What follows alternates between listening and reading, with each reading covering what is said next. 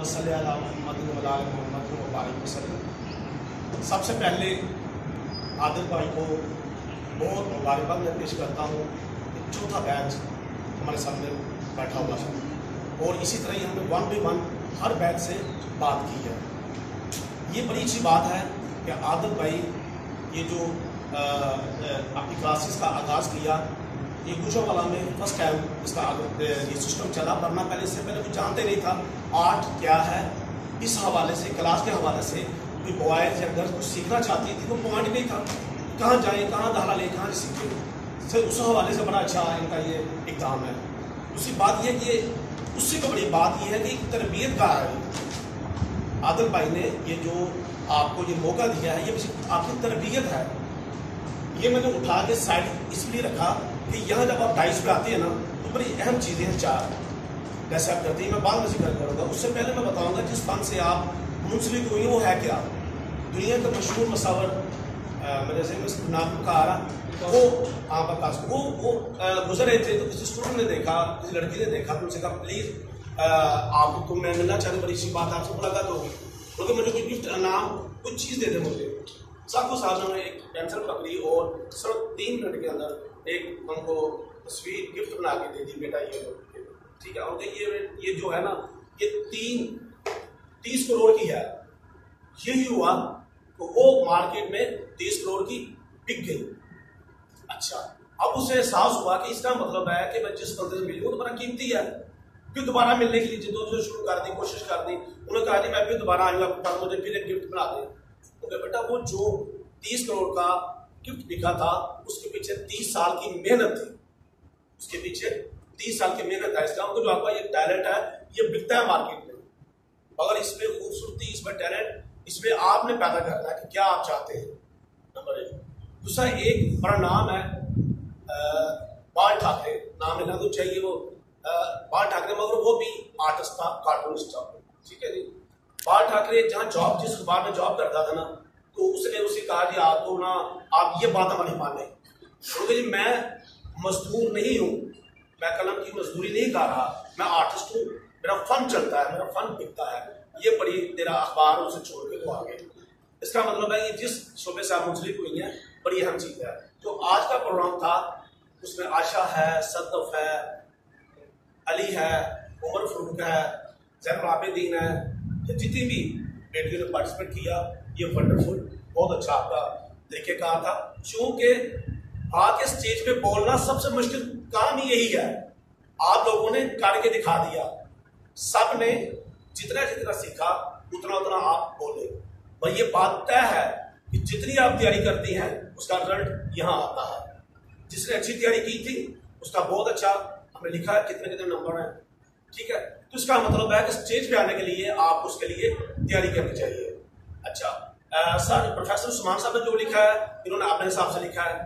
چونکہ میں اس شعبے سے بڑا قریب ہوں، میں نے جو پوائنٹ نوٹ کیے، وہ ہے سب سے پہلے جب آپ اسٹیج پہ آتے ہیں، آپ کی ایک چیز ہے، وہ ہے باڈی لینگویج ٹھیک ہے؟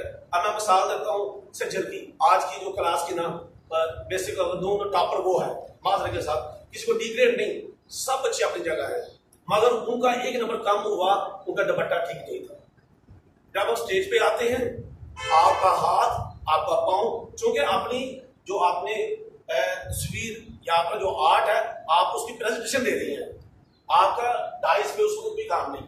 آپ آئیں، جس کا عمر فروغ نے اچھے طریقے سے، ایک دو بیٹی نے بڑے اچھے طریقے سے اس کا بتایا کہ یہ میں نے بنایا ہے۔ یہ باڈی لینگویج یعنی کہ آج تو ہم آپس میں بیٹھے ہیں، آپ کی کلاس ہے، سب آپس میں ہے ہو سکتا ہے یہ اسٹیج ایسی آئے کہ دنیا کی یا پاکستان کا مشہور پوائنٹ پہ آپ کو موقع ملے۔ تو اس یہ اس کی تیاری اس کا ابتدا ہے آج۔ جو عادل بھائی میں تو نہیں کہہ رہا ہوں۔ آج اس کی ابتدا ہے۔ تو اسٹیج پہ آنے کا آپ کا طریقہ کار یہ انشاءاللہ عادل بھائی بھی بتائیں گے۔ اگر آپ عادل بھائی چاہیں تو میں بھی یہ آپ کا یہ کام کر سکتا ہوں۔ اس پہ الحمدللہ ہم نے کافی کچھ سیکھا ہے۔ اور میں سمجھتا ہوں یہ ڈلیور کرنا چاہیے بچوں تک نا۔ باڈی لینگویج سب سے پہلے آپ کی باڈی لینگویج ہے۔ پھر آپ کی جو آپ بولتے ہیں اب میرے منہ کے آگے مائک نہیں ہے اسپیکر نہیں ہے اور آپ سب لوگ سن رہے ہیں۔ جج صاحب نے تین دفعہ آپ سے کہا کہ اپنا آواز دے۔ تاکہ آپ کو بولنے کا فائدہ نہیں، جیسے وہ علی بولے تو وہ خود ہی آپس میں بولے، وہ آپس میں باتیں کر کے واپس چلے گئے۔ اور اس کے لیے کیا کیا انہوں نے؟ کیا کہا انہوں نے؟ کیا احتجاج کیا؟ کوئی سمجھ نہیں لگی۔ بہت سنی جیسے کومل نے کہا، اس کا ٹیمپو ٹھیک تھا مگر وہ ایسے پڑھ رہی تھی۔ جیسے ہم کتاب معذرت میں پہلے کہہ رہا ہوں ڈی گریڈ نہیں، ہم نے تیاری کرنی ہے آپ اپنی اپنی غلطی ہے۔ اپنے سے سیکھنی ہے۔ تربیت ہم اپنی اپنے سے کرتے ہیں۔ جیسے انو ابھی نے بتایا، بتا دو ٹھیک۔ انہوں نے جو لائن کھینچی، انہوں نے، یہ بڑا اچھا ان کا آئیڈیا ہے۔ آئیڈیا بکتے ہیں مارکیٹ میں۔ جو چیز بناتے ہیں نا آئیڈیا بکتا مارکیٹ میں۔ وہ آپ نے بتایا کہ بھائی یہ لائن نہیں ہے۔ یہ خون کی ندی بڑھ رہی ہے بہتر سال ہو گئے ہیں یہ وہاں کے وہیں ہے اور آپ نے چیز وہ بتائی جو اپنے دادا جی نے آپ کو بریف کیا کہ اس گجرا والا اس طرح آئے، اس طرح بیٹھے نمبر ون اسکول میں بیٹھے۔ میں سمجھتا ہوں کہ آج کا یہ پروگرام بہت زبردست ہے آپ کا عدل بھائی۔ آپ کو پھر ایک دفعہ مبارکباد۔ بڑی اچھی تیاری کی بیٹیوں کی۔ مگر مزید ہوتا ہے جس طرح آپ کھڑے ہوتے ہیں بیٹھتے ہیں، آپ نے بات کرنی ہے، آپ نے بالکل آنکھیں ایسے نہیں کرنی، آنکھیں ایسے نہیں کرنی، بالکل ایسے آنکھیں کریں آپ جس سے بات کر رہے ہیں بڑی خود اعتمادی سے خود اعتمادی آپ کی آپ کی یہ چیز ہے۔